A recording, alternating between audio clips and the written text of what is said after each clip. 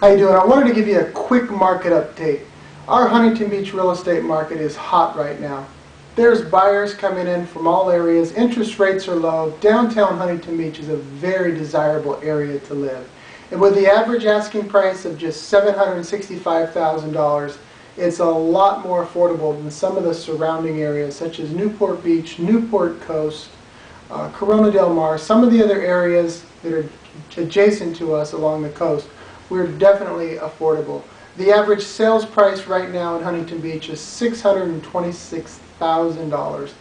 You know, the circumstances have changed from just a few years ago. Buyers are coming in from all areas, coming into our community. They're getting 20 and 30 year fixed interest rate loans. They're getting low interest rates. And the thing is, is people are extremely savvy to the market, uh, the changes, interest rates and things like that. We don't want to have the mistakes that we had several years ago where you buy something out of your means, you get into a mortgage that adjusts, you can't afford the payment before you know you have a distressed property. So again, buyers are savvy. They're coming into the Huntington Beach real estate market with cash. Approximately 20% of the buyers out there come in with cash, believe it or not.